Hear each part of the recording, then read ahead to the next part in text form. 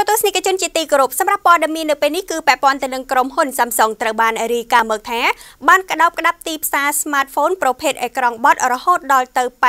88%នៅជុំវិញពិភពលោកហើយរបាយការណ៍មួយនេះគឺត្រូវបានបញ្ចេញឡើងស្របពេលដែលមានព័ត៌មានមួយចំនួនចុះផ្សាយថា Samsung ក្រុងនឹងបង្ហាញទូរស័ព្ទ smartphone ប្រភេទអេក្រង់បត់របស់ខ្លួននៅសប្តាហ៍ក្រោយ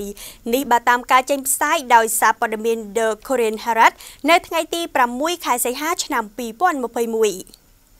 ក្រុមហ៊ុន Samsung ត្រូវបានរាយការណ៍មកថាបានក្តោបក្តាប់ទីផ្សារ smartphone ប្រភេទអេក្រង់បត់រហូតដល់ទៅ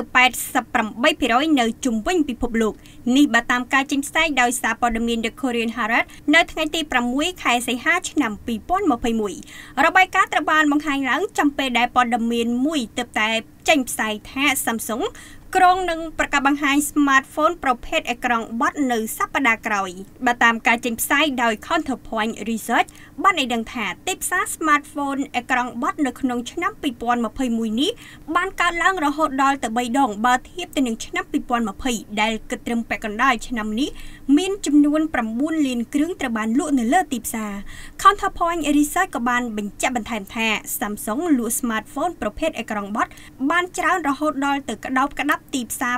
88%គឺដោយសារតែ smartphone អេក្រង់បត់របស់ Samsung ត្រូវបានរចនាឡើងដោយរូបរាងទាក់ទាញនិងតម្លៃសមរម្យជាពិសេសគឺធន់នឹងការប្រើប្រាស់ស្ថាប័នស្រាវជ្រាវមួយនេះក៏បានលើកឡើងផងដែរថា នៅឆ្នាំ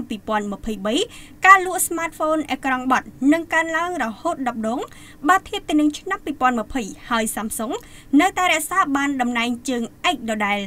ក៏បញ្ជាក់ផងដែរថាក្រុមហ៊ុន Samsung ក្រុងនឹងប្រកាសបង្ហាញ smartphone ប្រភេទអេក្រង់បត់ចំនួន2 model ក្នុងនោះរួមមានដូចជា model Galaxy Z Fold 3និង Galaxy Z Flip 3នៅសប្តាហ៍ក្រោយ។